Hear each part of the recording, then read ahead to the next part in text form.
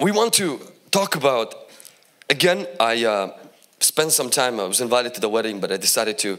Uh, my wife took me out to eat somewhere, and then um, afterwards spent some time to kind of pray and really feel.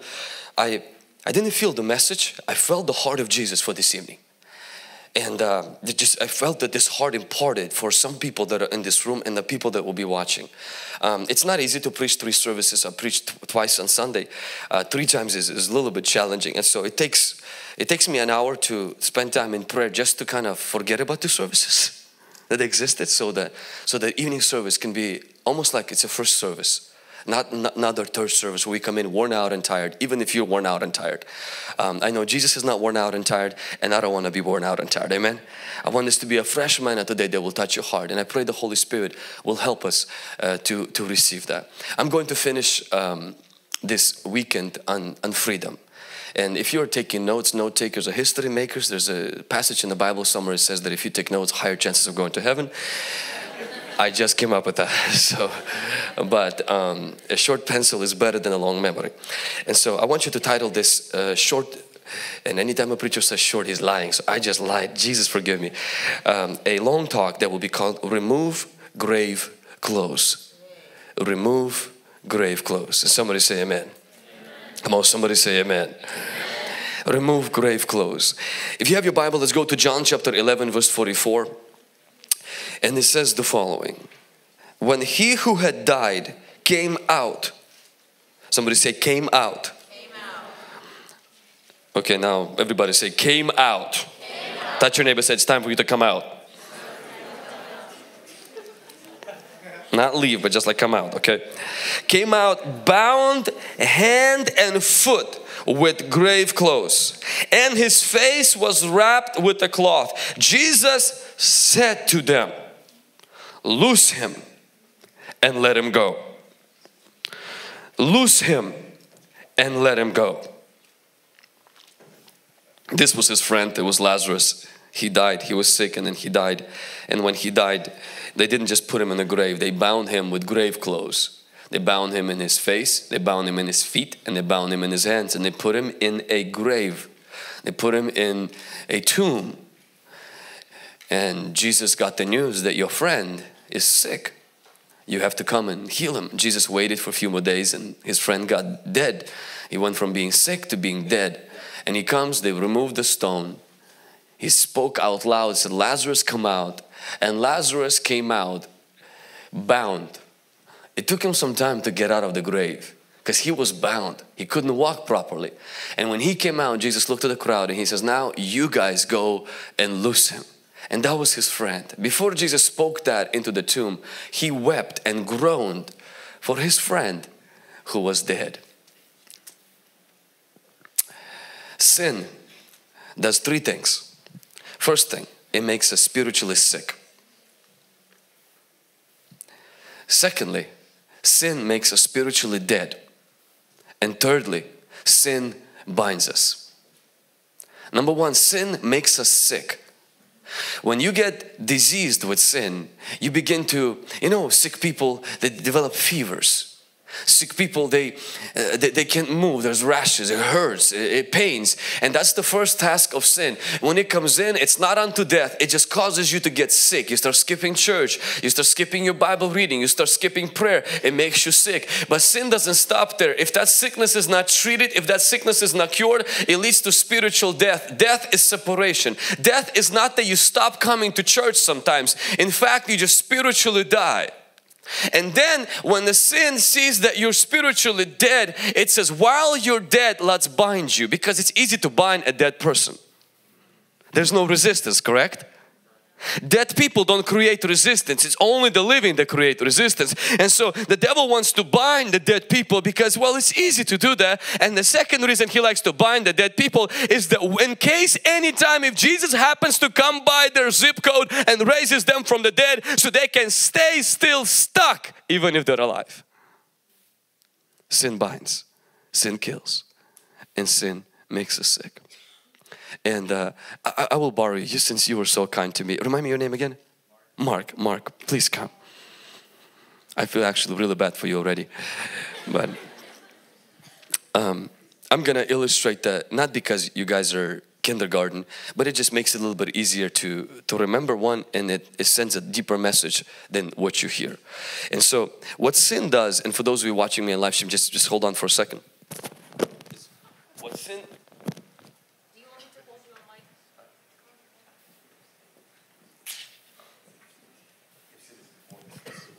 seeing it and experiencing that is way different.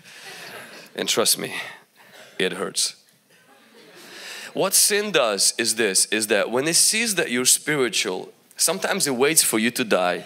Other times what it does is it comes creeping on your life and sin binds. See, sin is not an act. It's a, it's a tape. It sticks to you. It doesn't let you go. And it has its own agenda. And the Bible says that Lazarus came out bound. He was alive, but he was bound. And the first place that he was bound in the Bible says was in his feet. Put your feet together. Was in his feet. Now, one of the reasons why sin binds you at your feet is so that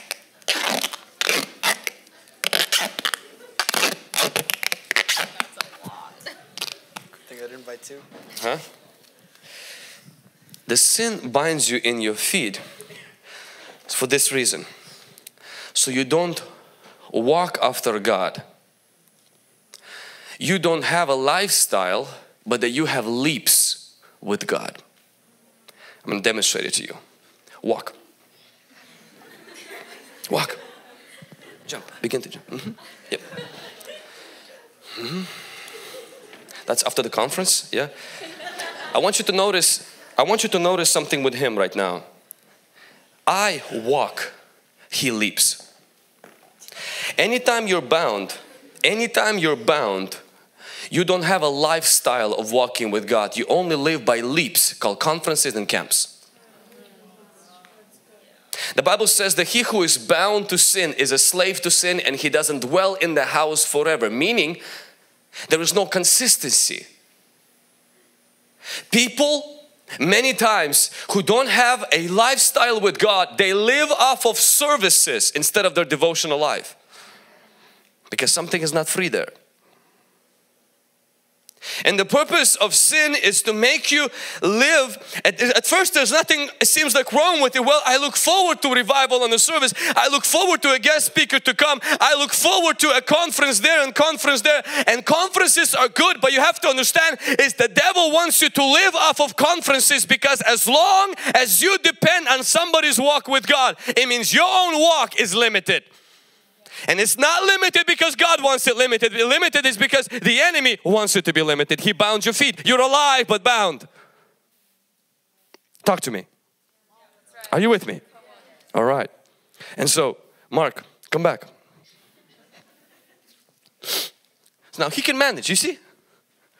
And that's how a lot of people do. They manage with their bondage. They manage not living a lifestyle they manage having certain restrictions in their spiritual walk. They still manage. Not for long. The scripture says not only he had his feet bound, it says that he had his hands bound.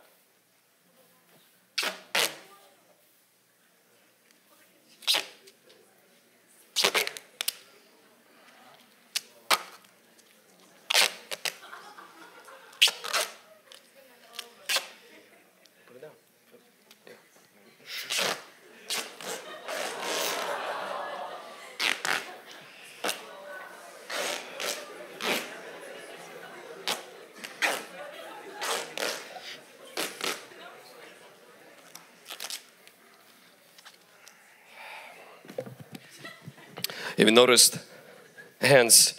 What do hands speak of? We do a few things with hands. We lift them in worship and we lift them in prayer. Are you with me? What the enemy loves to do is not only to bind our walk, but also to bind our talk, to bind our, our relationship with the Lord. Many of you, you have a hard time lifting your hands at church. You have no problem giving a middle finger to somebody in the highway. Mm-hmm. No problem hitting somebody. No problem taking a piece of gum from a grocery store and taking it out. But when it comes to reaching your hand into your pocket during giving, your hand becomes withered like the guy in the Bible with the withered hand. It just doesn't move because it's bound. People say, well, I just go to a church where lifting hands during worship is prohibited. Well, I wish you wouldn't lift them anywhere else. You watch a football game and your hands go up. Didn't your church teach you not to lift them during football game? Didn't your church teach you not to watch the football game? Hypocrisy at its finest. The enemy wants to bind our hands so that we don't lift them eh, like holy hands the Bible says in praise and in worship to God. But it doesn't stop that. The scripture says that Lazarus was bound with his feet, Lazarus was bound with his hands. He was alive, the blood was flowing, they were capable. The only thing is they were restricted. And the most painful part is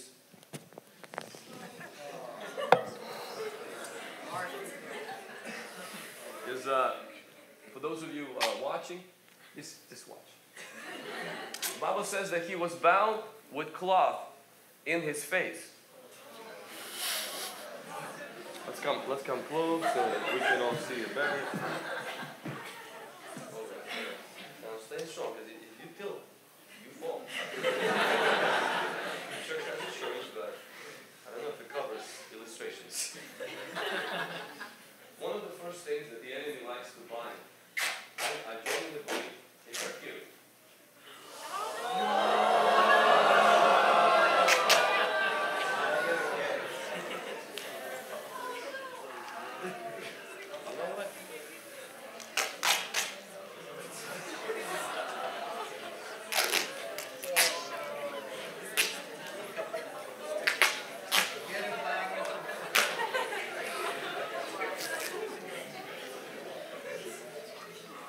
You know what? Secure.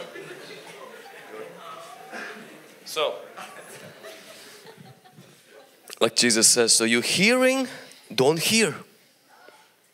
So you come to church, a preacher preached for 40 minutes. You know it was good. They ask you, what was it about? I don't know. Yet when they ask you, what's the NFL score of your favorite team? From the back of your head, you know every single player, you know what they do, you know who they're married, you know the name of their cat. And if we ask you, you know, what's, what's the first four or five books that Moses wrote? Who? Moses? Which Moses? A lot of times this is the problem is that there's a problem with hearing and many people have this problem in the church. A lot of times they come to church and, and, and I believe it's a spiritual problem where you can't pay attention in church. But you can watch Stranger Things season 2 in one setting. But you can watch Netflix TV show in one setting, all 10 episode in one setting, barely blinking. And 30 minute message.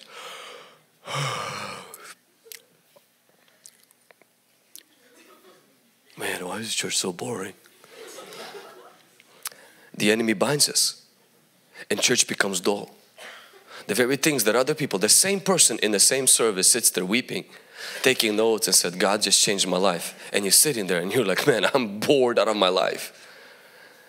Enemy loves to bind our hearing. It doesn't stop with hearing. He gets your ears. Gets your eyes.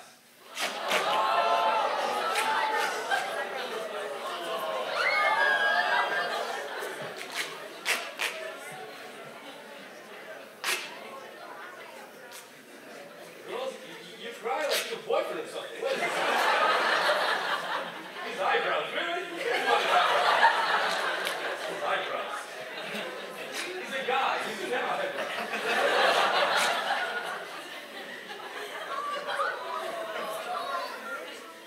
You know, you remember Samson?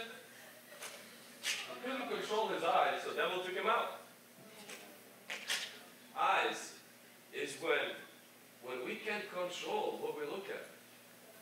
Young men especially. When Instagram popular page becomes a page where we, we look for, you know, we're looking for fun pictures, but in reality we're really looking for females with less clothes on. Or girls who also look for validation in others. Who look now, soft pornography wants to get our eyes on the hook so that our eyes don't burn with fire of God, but our eyes burn with lust. We don't see the Lord because our eyes are bound.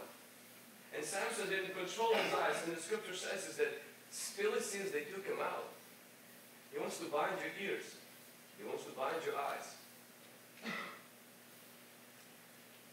When he succeeds with that, he binds your mouth.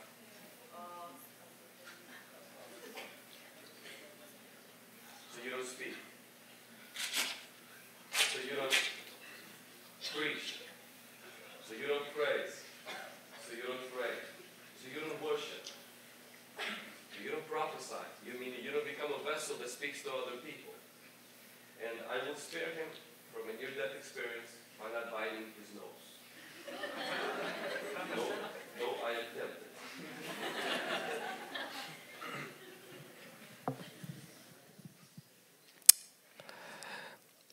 Write this down. When I am bound, I live by leaps of faith instead of lifestyle of faith.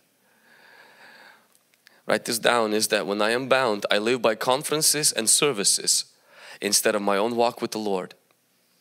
I believe the church service is not supposed to be a place where you get fed. It's a place where you serve. The only people who come to their parents and said, I'm not being fed are toddlers. If you're a grown up and you live with your parents, you come to your mama and your dad and you say, I'm hungry, there's nothing to eat. What is your mama gonna say? There's a fridge, you go get it yourself. If you don't want it, well, be hungry.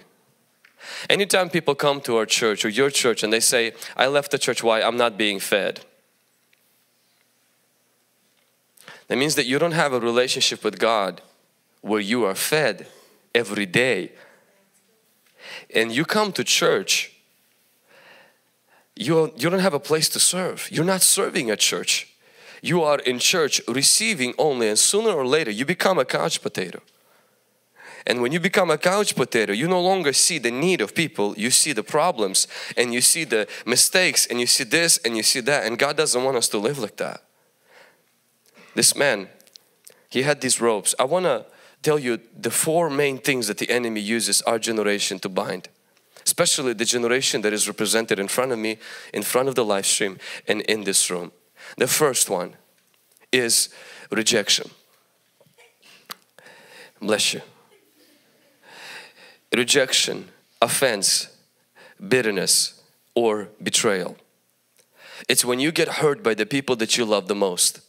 Rejection is when you, the trust that you place in somebody and they break it.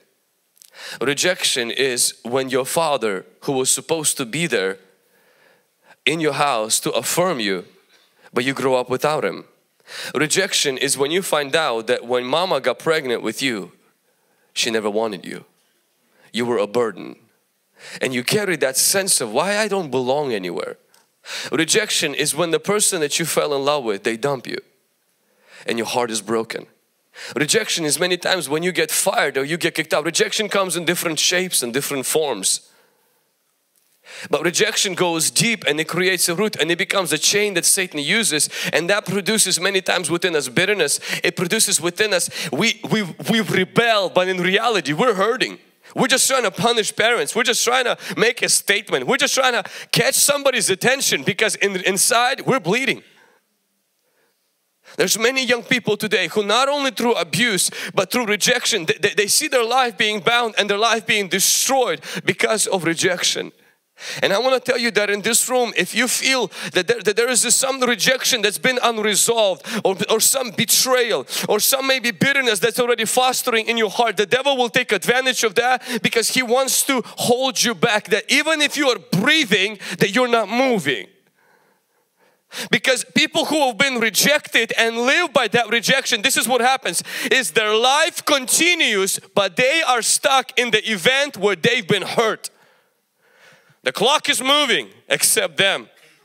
They live, they are imprisoned in that very event which they have been hurt by.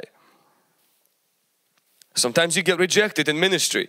You start serving and the people that you serve they can throw a lawsuit at you. They can blackmail you. They can call you with things. And if you don't if this sounds strange to you you haven't been ministering to the new people yet.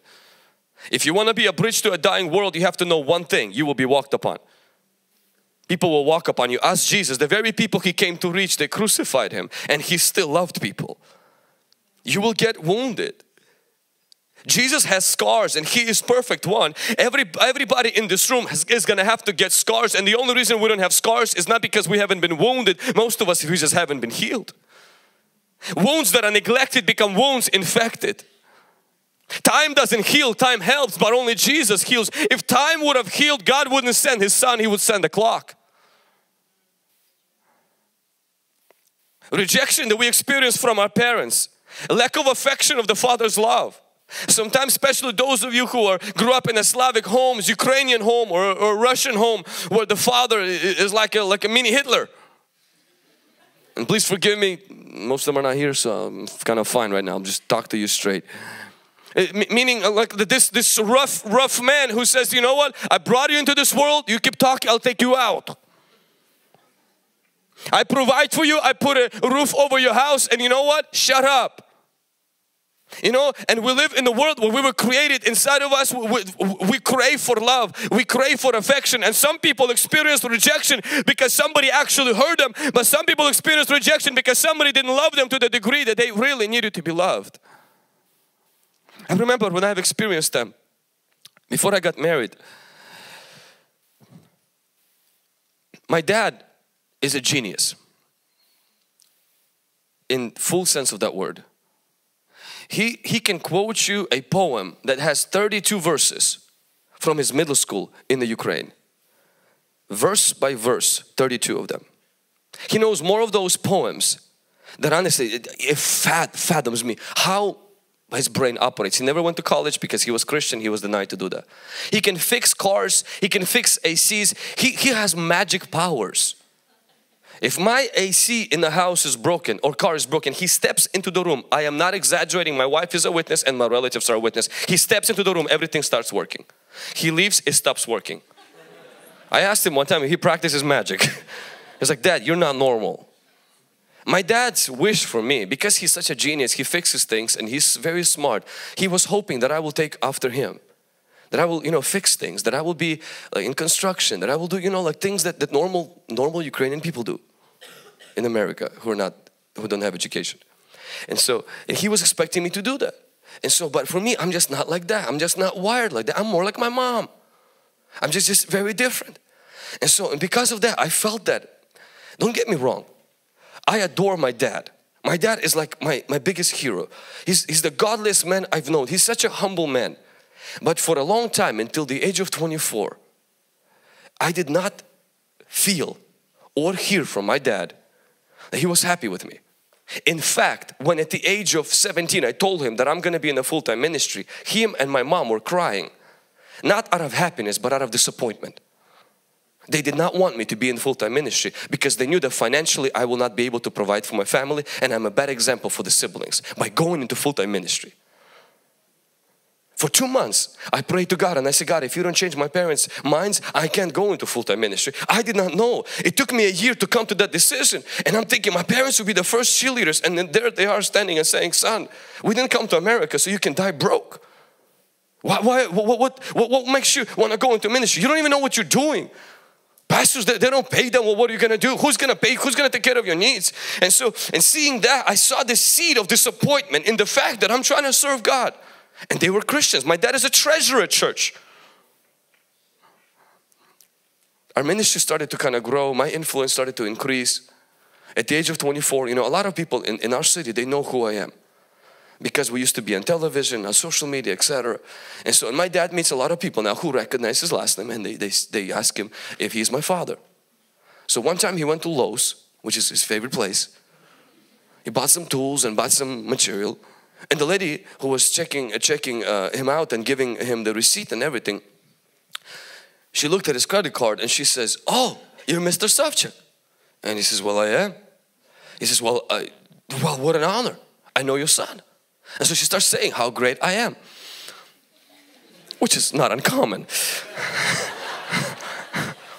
So my dad comes back home and my dad says, you guys not gonna believe what happened.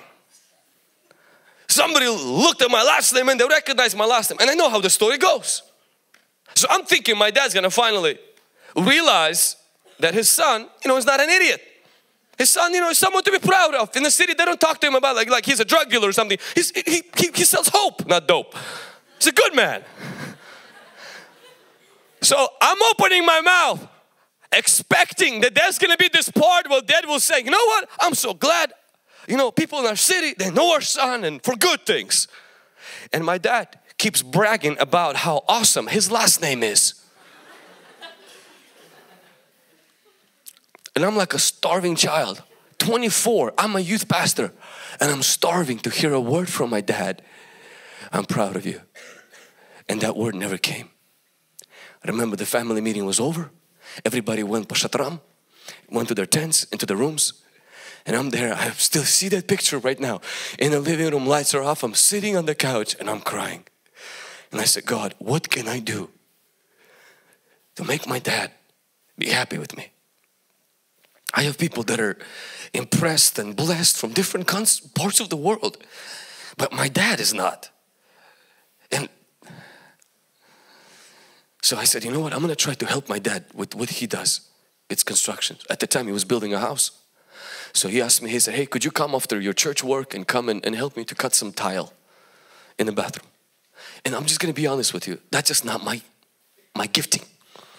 He took some expensive tile that he bought in Lowe's on discount, specific rare, limited amount. He told me to go cut little corners. I broke every piece of tile that he gave me. My dad was so disappointed, he kicked me out of his house. And he says, get out of here before you destroy everything else. And there I am thinking, you know what, I'm good for nothing. My own dad. And I'm beginning to build resentment toward my dad. I'm feeling rejected even though he's not doing anything back. I just feel like he's not, he's not, I'm not good enough for him. I get married and I still carry that until one time, me and my wife, she loves sushi. She takes me to sushi. And I'm not a big fan of sushi. I like Olive Garden because appetizers are big. One of the reasons I don't like sushi is because you go to a sushi restaurant and they bring you these appetizers where like it's a big plate and you see the plate coming you get it, your stomach gets excited. You're like oh my god we're gonna have a good appetizer. We will take the meal to go so we can eat it at home tomorrow save some money. And the plate arrives it's a big plate and it has six leaves that they picked up in the backyard and sprayed with some Chinese black sour cream or some kind of a some kind of a thing. You looked at that thing and I remember I looked at it was this vivid memory. I'm looking and I am mad. I'm looking at my wife and I said, that's why I hate anything that has Japanese, Chinese, or anything that's Asian because they rip people off. Six bucks for six leaves. Next time, I'm bringing my own leaves. And my wife said something that was very, very deep. She says, well, the appetizer wasn't supposed to replace the main meal. She said, it was supposed to whet your appetite for the main meal. It wasn't supposed to be the main meal. Olive Garden has a bigger appetizer. Sushi places have very small one. But the point is to get you ready for the main meal. When she said that, I'm like, this sounds deep. I know there has to be a revelation behind this. the next morning, I'm praying, and wrecks my this this revelation wrecked my life. And the Holy Spirit spoke to me, and He said, "Vlad, your Father is your appetizer. I am your main meal. He was never meant to love you so much that you don't need me. He was only meant to whet your appetite so that you're ready for the main meal." He said, you're angry at your dad for not give you Olive Garden salad because he gave you six or seven leaves. He was only meant to prepare you for my love. He said, you're expecting too much out of him and too little out of me. Man, I had an encounter today. I wept like I've never wept before. I cried before my Heavenly Father and I repented and I said, God, I'm so sorry because I squeezed out of my dad. Everything, honestly, the reason why my dad loved me like that is the way my dad was loved by his father. It's not my dad's fault. And God freed me at that day from the chain of that rejection that I feel. And I loosed my dad. I let my dad go in my heart think, and realizing that what he gave me is the best he had, but he prepared me for the main meal, which is the love of the Abba Father. Are you with me? This I feel like this is setting somebody free in this room right now. And after that, I made a decision. I will never again expect my dad to give me something he doesn't have. And instead of expecting him to love me, I started to make sure I honor him in a way that he's the best father. So I stopped taking care, focusing on when he's gonna honor me, bless me and appreciate me, say something nice. I'm just watching, make sure I always honor my dad. Coming alongside said, Dad, I know I can't fix style. Well, I'm pretty much gonna do half of the things that you need me to do. But hey, can I clean your car?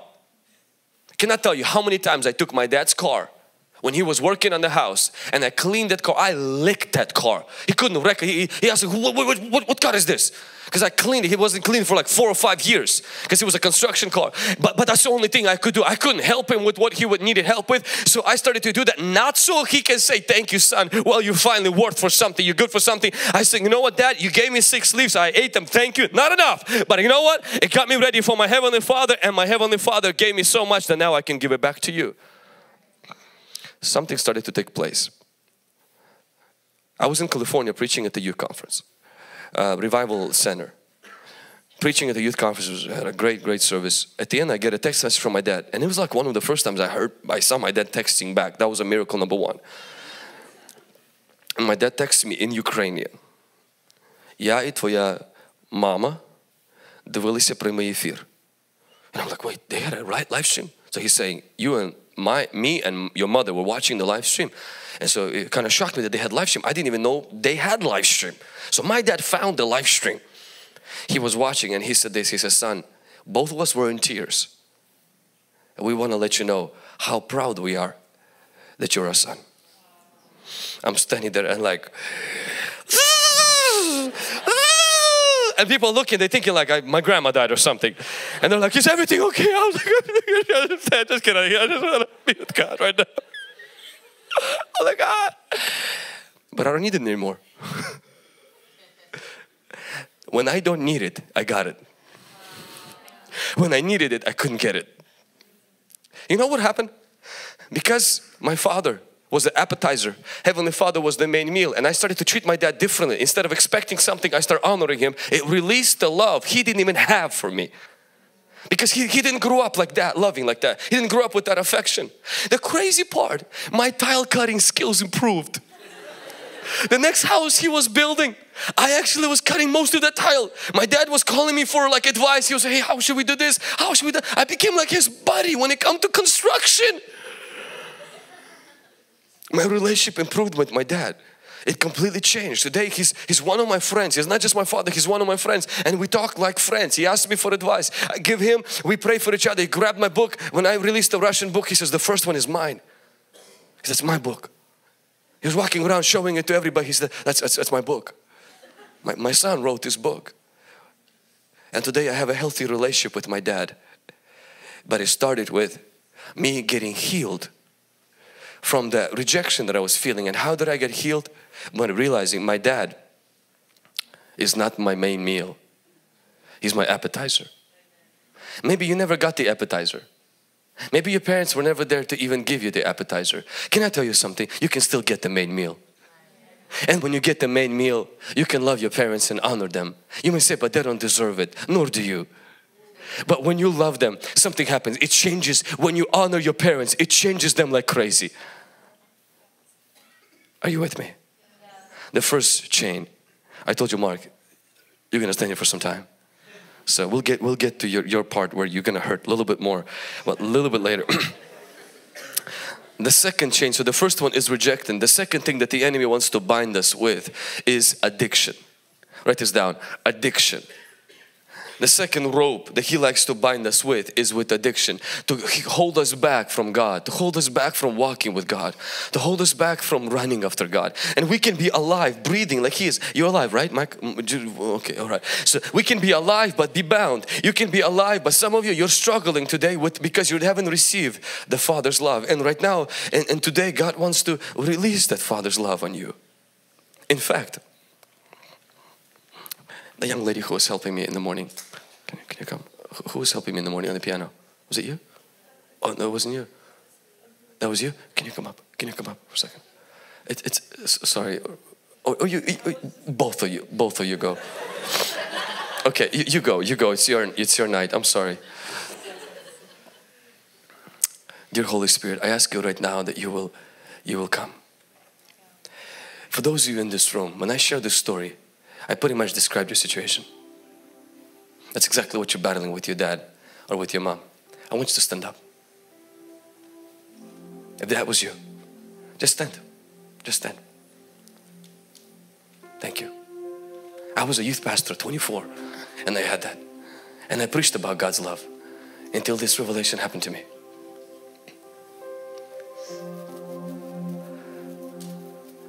Oh, I know there's more people. If you grew up in a Slavic home, your heart is beating right now faster. See, some of you, you're going to be free. That's why it takes a little bit more boldness. The Lord is going to break that chain right now and set you free. And you're going to let your debt go.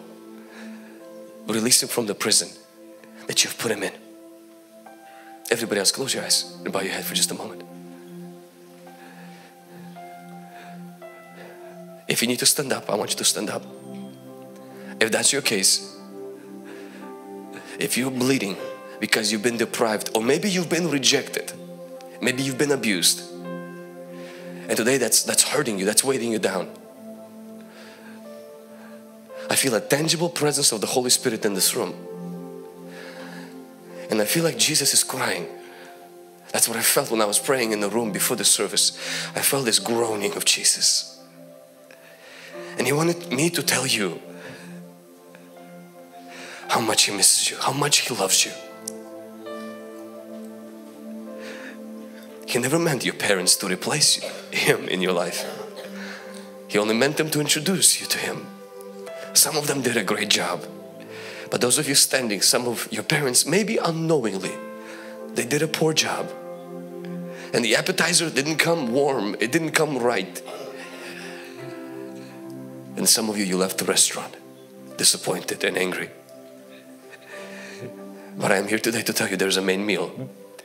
And if you just open your heart right there, right now, if you can just stretch your hands like this, like you're receiving a gift, just stretch your hands like this and say, Holy Spirit, pour out the love of the Father into my heart right now. Everybody else just pray in the Holy Spirit just for a few minutes. It's fine if you said it. Just, just pray in the Holy Spirit for just a few seconds. Holy Spirit, touch her right now touch her. Let your oil heal every wound. Every word that was spoken. Everything that was done. The healer of the hearts, Holy Spirit, you are. I pray that she will expect out of you what only you can do. Nobody else can do what only you can do, Holy Spirit. Right now in Jesus' name, let that healing come. Let that healing come. Let it come to that young man who waited all his life and has always been disappointment of his parents. In Jesus' mighty name, let that healing come right now, right now, right now, right now, in the name of Jesus Christ, in Jesus' mighty name. Kotamasha tiribasha kandere bashili basanta rabashika labasa. Koramana shikaleba sataraba shikalaba sataraba rebata kandaraba sikaraba katara. Judriba zifitaraba shantaraba leba sitaraba shikalama sataraba rabashia. Kormandara baralebe rebe kitaramantara baramono kitarama katarama sikaraba kataraba katara. I break every rejection. I break every spirit of bitterness. I break every offense in Jesus' mighty name. I break every chain that the enemy has used to bind you in the name of Jesus Christ. Every nightmare that's connected to that, every self-hate, every suicidal tendency tendencies that are connected to that in the name of Jesus Christ. Every rebellion that's connected to that in Jesus' mighty name, let it be broken today out of your life. Come on, every person praying, every person praying.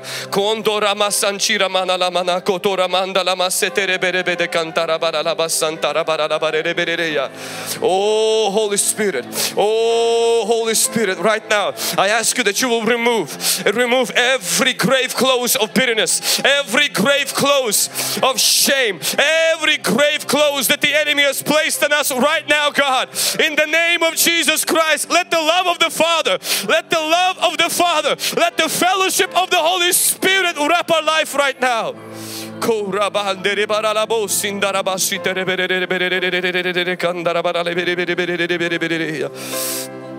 In Jesus' mighty name, in Jesus' mighty name, I want you to say this with me. Say, Oh Holy Spirit, let the love of the Father be poured into my heart and heal every rejection, heal every hurt.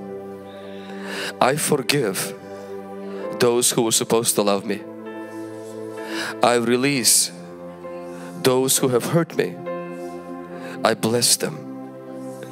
Help me to love you, to live in your love, and to honor my father and my mother. In Jesus' name. You may be seated in the presence of the Lord. The second thing that the enemy, the second grave clothes, the second tape that the enemy likes to use is addiction. Addiction is when you've tasted some kind of a sin and it becomes a repeated cycle. Addictions can be to different things.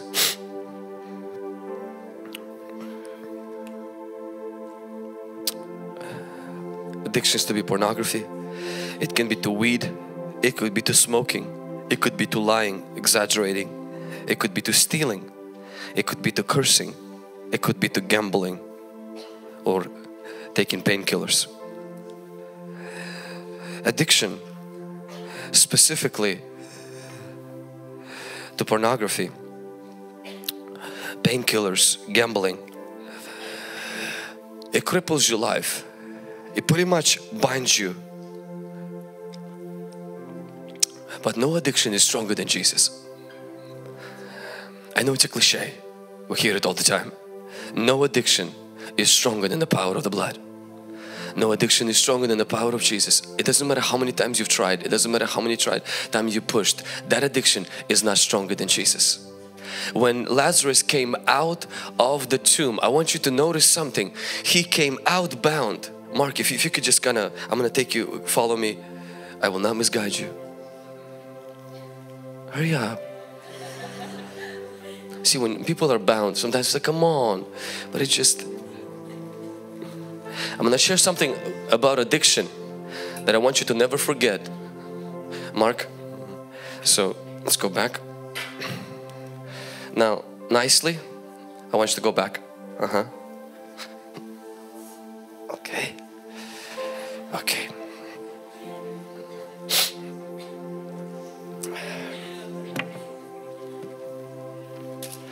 I want you to see this about addiction. Lazarus was dead and he was bound. And Jesus spoke a life, a word into him. And Jesus says, Lazarus, come alive. His heart started beating. Lazarus woke up, but he was still bound. Now, imagine that a dead person, you're at the funeral and somebody's dead and they're bound just like this. When they wake up, would it offend you that they are wrapped in grave clothes or you would be so ecstatic the fact that they're alive? Do you think it's a big deal that they're alive? I mean, yeah. Do you think it's a big deal that they got rags? No.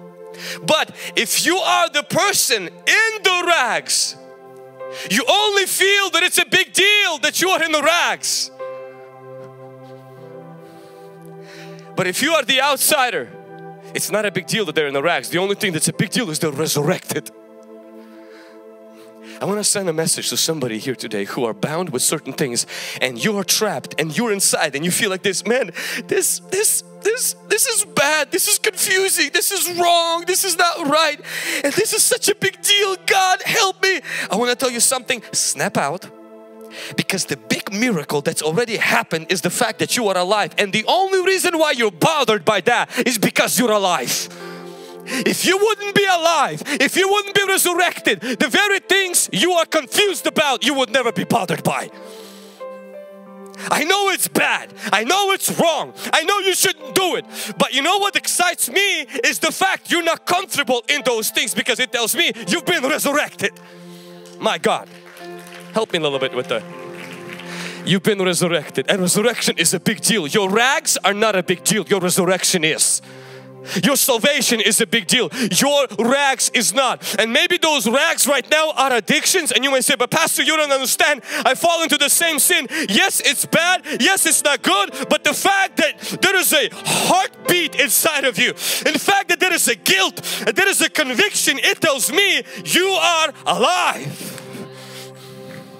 You're alive. That's a, that's a resurrection. So what? If you would have been freed but dead. Dead people are very well behaved on funerals, but that doesn't make them alive. Sometimes I heard a young man came to me at our church and he says he got kicked out of school for sexual sins. You really have to be messed up to be kicked out for sexual sins. He was like that messed up. He come to me in the lobby in the church and he says, Pastor Vlad, is it wrong for me to smoke weed? I said, for you? No. Looked at me and said, really? I said, sunshine, listen, listen. You're going to hell. Everybody knows it. What's the point if you go to hell smoking weed or not smoking weed? Since you're going there, smoke it up. He looked at me. he was like, he couldn't believe it. I just told him he's going to hell. And I was like, think about it. Whether you go to hell gay or straight, you're still headed there. I'm like, if I would be you, going there, I would do whatever I want. I was like, honestly, for you, bro, don't hold back.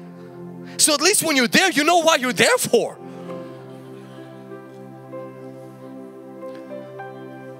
I told him, your problem is not weed. Your problem is you're dead in your sin. You first need to be resurrected and then you will know that weed is the problem then that's not going to be comfortable no more. It's not going to be right no more. Why? Because when you come alive, something just feels uncomfortable. But while you feel confused and while you feel uncomfortable, I got to tell you, the rest of us are looking at your life and saying, you know what? The fact that there is a pressing in, the fact that there is a sense of conviction about it, it indicates there is life. I'm not condoning your sin. I'm just looking at something that is real right now and that is the life of God that's beating inside of you.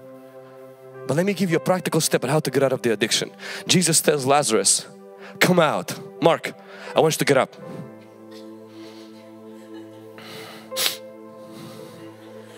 Now, I want you to notice Jesus did not help Lazarus to get out. Come on, give him a round of applause. Come on, guys, help me out. Help him out. Oh, Rabba. Ooh. All right, all right. Let's go, let's go. You were good, you were good. Why did you start jumping? Let's go. Up, one, two, seven. Okay, so now come close, close. Look. Stop jumping, okay? Start breaking chains, man. Lazarus was not loosed until he got out of the grave on his own. Can you imagine the struggle he had to go through? This is where the struggle is real hashtag started. Did you did you just see how much you struggled with that? So I want you to imagine, see most of us think that Lazarus like in a bathrobe, he came out like Pan. The guy was bound up like, like a corpse. He was bound up. That means he wrestled trying to get in, get up. And Jesus says, come out. Meaning, Jesus says, when you are still bound, I'm expecting you being bound to start making moves toward me. Before I send somebody to get the clothes off, eh, when your clothes begin to make moves toward me, struggling but move toward me, hurting but move toward me, struggling but move, you will fall like he did. You will struggle. It will not happen first time. It might happen first month, second month. It might happen two years. But Jesus says, come out. He said, but Lord, I am bound. He says, I know. Make moves. See, some of us think we have this magical view of Christianity. I just come, everything is gone. It's not always. Sometimes you gotta struggle and move toward God. Mark, let's come a little bit closer. Not only you have to struggle to move toward God if you want to be free from your addiction, but I want you to notice another thing is before you get rid of your grave clothes, you're gonna have to get out of your grave. Write it down. Before God removes grave clothes, I have to get out of my grave. Grave is three things trigger points, toxic people, and toxic places. Grave is three things. Write this down. It's trigger points, toxic people, and toxic places. Before Jesus removed the grave clothes, excuse me, disciples removed the grave clothes, the man Lazarus had to get out of the grave. He got out of the grave and only then the grave clothes were removed. See, some of us, what we want to do is we want God to get into our grave, which is trigger points, toxic people, and toxic places. We want God to come in our grave and there untie us. But the Lord says, if you really want to be free, a few things. What is the trigger point for pornography for you? Instagram? Get out of Instagram. Oh my gosh, I can't do that. It's your grave. If it's Snapchat, get out of Snapchat. It's your trigger point. What is the trigger point for alcohol for you? What is that trigger point? You ask yourself, your trigger point is your grave. You got to get out of it. It doesn't mean you will be free, but God can't bring freedom from this until you get out of that. Are you with me? Toxic places. Toxic places speak of the places you used to be in that was normal but because you're a Christian those places now tempt you to go back. You have to no longer go to those places. I know this idea well, I want to be a missionary there. You're not a missionary there because you're tempted by those places. But I, greater is He that is in me than the one who is in those places. The devil is a liar. Yes, He is greater, but you are not greater than those places. The reason why those places tempt you back and those people tempt you back is for this reason. People in those places and those places are way deeper in their sin than you are in God. And whoever is deeper moves the other. Not whoever is stronger, but deeper. I remember I shared the story uh, a few years ago here at the teens, teen service. I had a young man in our church. His name was Mitchell. He got saved. He was this radical evangelist. He comes from drugs. His mom was a prostitute in Seattle area. Within six months of his salvation, he was doing so good, evangelizing pretty much every night. He was evangelizing so much, he was rebuking me and other pastors on the team and saying, you guys are a bunch of lukewarm, lukewarm people. I mean, we felt ashamed of how much we didn't love Jesus compared to this guy. He was so on fire for God. One holiday, he says, I'm going back to Seattle. I'm going to win my mom to Christ. And I said, no you don't. I said, we don't want you to go to Seattle. He's like, I break every spirit of control. I said, Mitchell, please understand. Your mama has been in prostitution for over 15 years. All of her homies and cronies are drug dealers drugs you're only six months off of it. You're fresh. You're not gonna win them to Christ. They will win you back to your old lifestyle. You will see. You don't understand. I pray in tongues two hours a day. As you can pray in tongues until you lose your voice. It doesn't change the fact you're still fresh in this. Stay away from your grave. I said did you know why Joseph did not witness to Potiphar's wife? Because you don't witness to people you're tempted by Oh, that, that's, that's a tweetable quote right there. I said, you have to run from from those places. He said, you don't guys don't understand. You don't care about my mom. Who's going to bring the gospel to my mom? I'm like, somebody will, but not you, not yet, not right now, maybe a little bit later. So he rejects our counsel. He goes to Seattle. First three days he evangelizes to all the prostitutes and all the drug dealers and everything. On the third day they gave him a little drink and he took a sip. Became a sipping saint. And he got drunk and he fell back into drugs. He came back two weeks later. He relapsed oh, OD'd. Mitchell never recovered from drugs for 10 years. He had three children just so he can help to get out of drugs. He had children to help him get out of drugs and couldn't do it until he did so much drug it messed with his brain and he went mental. One time they locked him up in a local park not very far from my house where he ran naked at 2 o'clock in the morning saying Jesus loves everybody naked. They locked him up in the hospital and the hospital transferred him into jail and the hospital made an error by not transferring to jail that he had a problem with his mental health and at night this young man hit his head toward the concrete and killed himself. I performed his funeral. I preached hell hard at that funeral because I didn't care because I warned him and we tried to bring him back. And I've seen the damage it does to people when they don't leave their grave. There are phone contacts on your phone that should be removed. It's your grave. It's the people you dealt with stuff. It's the people that you took stuff from. It's the people that gave you with stuff. And you need to walk out from your grave before God removes your grave clothes. You're saying, God, take away those feelings, but God says, take away those friends. God take away those desires, but God says, get those places out, block them out. See, some of you, you keep that as a plan B. You keep that as an open bridge in case this thing with God doesn't take over, so it doesn't take you a long time to go back to your past. Burn the bridge to your past. Because you only have future in front of you is with Jesus. Are you with me? That's how addictions get broken. You walk out from the grave. You have to, a lot of times, turn off the computer turn off the remove the internet from your phone.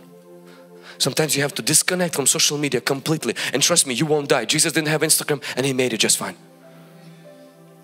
You have to disconnect. Uh, one of the girls who got delivered from lesbianism in our church for her trigger point was her Twitter account she had a lot of followers and she had a lot of lesbian people that were constantly in contact with her and now she didn't want to even share her testimony. She says, that's not my time. My time will come to share the testimony but right now I don't want to go back to that and therefore I have to walk out from my grave and that grave is Twitter. For me, Twitter is a place where I can minister but for her, Twitter was her grave. What is your grave?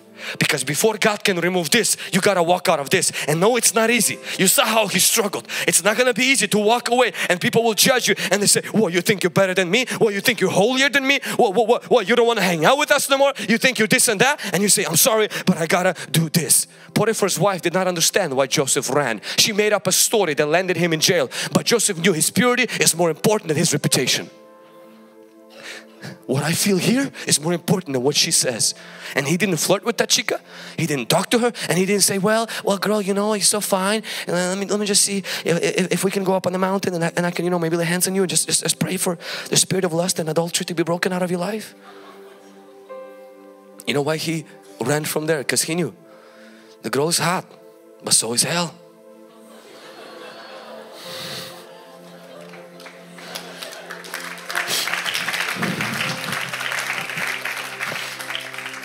Too hot to handle. He's like, I, I, can't stick around here.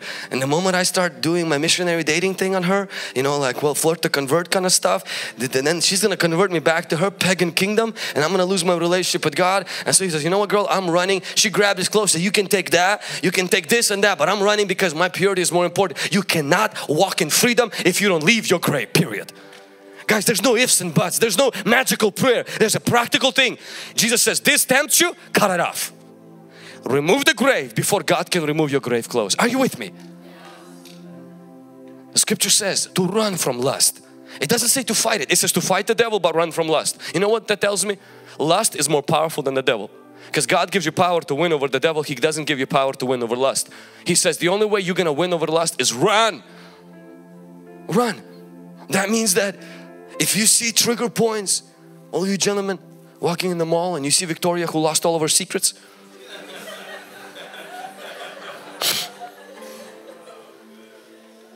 all right?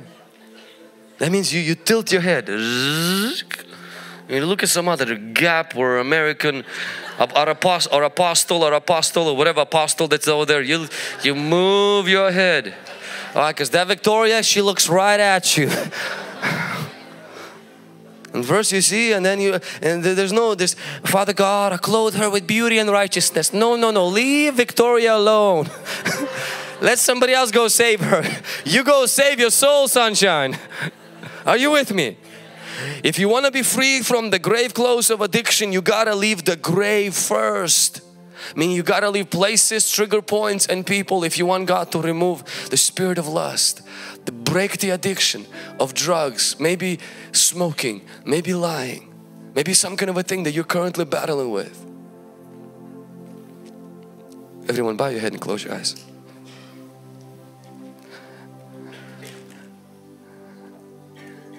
If you're addicted to any of the substances that I just mentioned, whether it's painkillers, pornography, lying, stealing, gambling, or something that and you're sick and tired of it. And today you're saying, God, I want, I want you to set me free. And you're willing to walk out of your grave. And as I was speaking, you recognize, oh my goodness, he's saying the right thing. I, I need to leave a grave. I'm going to ask you to raise your hand. Not to get up, but to raise your hand. Keep your hand up. I'm going to pray with you right now. Thank you. Thank you. Keep your hand up for just a few more seconds. For those of you who have your hand up, I want you to say this out loud. Say, Lord Jesus. Everybody else, let's help them. Say, Lord Jesus, I repent for opening the door for the spirit of bondage. Wash me with your blood. In Jesus' name, I renounce every spirit, every chain of addiction and bondage over my life. And right now, I choose to remove every grave that God points to me. Whether it's my trigger point, whether it's some toxic people or some wrong places. In Jesus' name, help me, O Holy Spirit. Father God, I ask you right now in the name of Jesus, every person that has that hand raised, I pray that you will pull them out of that grave right now. That you will pull them out of that addiction. That you will pull them out of that place. That you will pull them out, Lord God, of those trigger points. Father, I pray that there will be a grace they did not have before to be released right now. Lord God, that this is not just going to be saying, God, I'm sorry and go and doing it again. But something will happen during this fast where this is broken once and for all. Well, we don't walk in loss, but we don't we walk in purity. We walk in power. We walk in the presence of God. In Jesus' mighty name. Father, I pray for those who have subscriptions that they know they need to be cancelled. For, who, for those who have certain habits that they know they need to be cancelled. That it will happen today, not tomorrow. And they will be able to walk out of their grave. Though for somebody else that is not a grave, but for them it is. In Jesus' mighty name. In the name of Jesus Christ. I thank you, Father. I thank you for your grace in this room. Every eye closed, closed, every head bowed. Even as I was praying and I was speaking, some of you, you just felt this from the Lord. You got to disconnect from this thing. You got to cut off the media or you got to remove the movies or you got to remove the, the Instagram or you got to remove the, the, the, TV shows or you got to remove this particular particular thing that the Lord just put it on your heart. You got to just go through your Instagram, maybe unfollow half of those girls that you are learning how to work out from and you're a guy You can't have God remove your grave clothes if you don't walk out of the grave. And you need to do that today, not tomorrow, today. In Jesus' name. Lift your eyes now. I'm gonna bring this message up to an end. So, sorry guys, I don't have a clock over there, so I'm just I'm just keep going. Okay, so uh, yeah, put on the clock, please, because otherwise I don't have to. I'm here till Friday, so I'm just taking my precious time. All right, and. Uh, so we are going to leave the rest of the two robes alone. You can just write down the clothes of insecurity and the last one is the clothes of condemnation. Insecurity is the things that the enemy uses to make us feel inferior and the condemnation is when the enemy uses what you've done against you to make you feel like you don't deserve God's love and he doesn't want you to forgive yourself. But toward the end, we mentioned one thing is that you're alive. That's a bigger deal than the fact that you have rags. Number two, we mentioned is that you have to get out of the grave before God can remove the grave clothes. And and lastly, and we have to finish, Mark. Um, you have to let people loose you. Don't surround yourself with people who throw stones at bound people. Some of you, you go to churches that publicly humiliate bound people. I will get in trouble for this, but leave your church. Any church that kills sick people, any hospital that attacks sick people need to be closed down. Hospitals accept sick people. They treat sick people. They don't stone sick people. Church is the only constitution, the only environment in many churches where the sick people are publicly humiliated, embarrassed, and instead of being helped, they're being pushed and made fun of. Jesus looked to people around Mark and he says, loose him. He didn't say embarrass him. He didn't say bind him. He didn't say make fun of him. He didn't say you know just begin to kind of kick him out. Everybody go take a punch at him pick up a stone and tell him what you think about him. You know I want you to loose him. You know your church the Living Stream Church the reason why Saturday existed because pastor and the team don't want the hurting people to be hurting. They provided a specific environment where it was a closed circle that people like that can receive help where they can come clean. Our church is exactly the same but unfortunately there are churches where if you fall into sin, pastors love to make a public thing about it. I know every church has a different policy and how they treat the sin. That's up to them. But if at the core of every policy is not to help Mark get his chains out, but for us to pick up anything that you get and start throwing at Mark. If at the core of that we miss the whole point of Christianity. Never attack hurting people. Remember how you were hurting and God helped you. Help somebody who's hurting.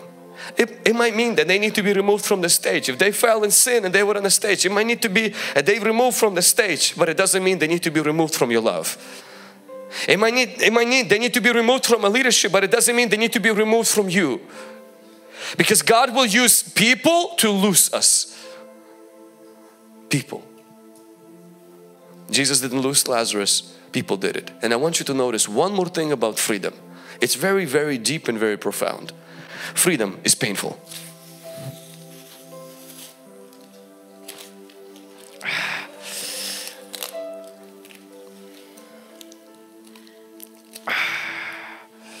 I said it's painful.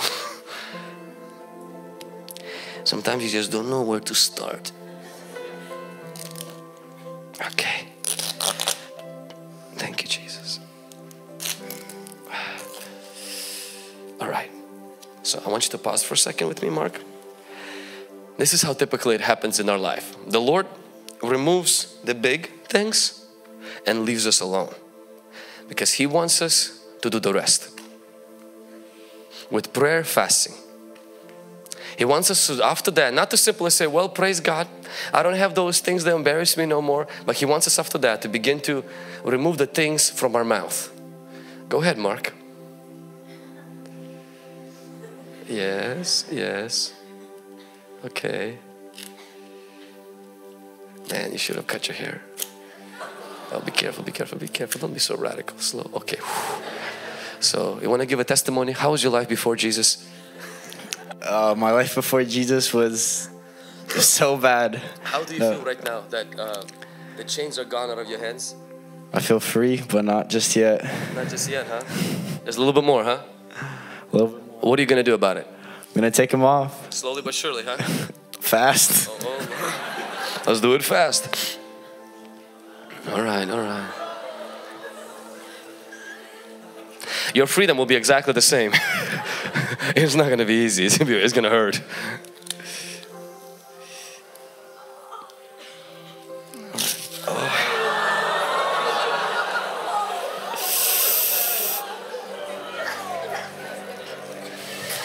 Ah, how did that feel? Great. Yeah. Wow. Well, that, that hurt. I mean, that, that, that how you snapped it, it's kind of painful. You, everybody just felt so bad for you. Because they, they, we, we all know how that feels in real life. When you begin to apply some discipline, it hurts. It, it- it's all pretty at the church. But you get home and start doing it, that hurts. Are you with me? And a lot of times this is where we end. We're like, well, praise God. Let's go, Mark. Hey guys, uh, but I'm not looking at porn, not smoking weed. I'm not, um, I am not uh, stealing no more. Okay? I don't have a prayer life. I don't fast when the church fasts. I don't tithe. I don't give. But you know what? I'm not doing the bad stuff. I'm staying out of jail. I don't have any more DUIs. Praise be to God. And this is how most of the Christians just continue to live. We just thank God for the big stuff. But see, Mark is not going to go home like that. Will you, Mark? No, Why not? because I want to run. Is your Christian life jogging or running? Anything that doesn't just keep you away from jail but from running needs to be removed. Not just from jail, not just from being excommunicated in your church, but from running from God needs to be removed. And the Lord is not going to do that. You're going to have to do that with the help of brothers and sisters. Mark, show us how it's done. You gotta find it where it ended, right? Yep.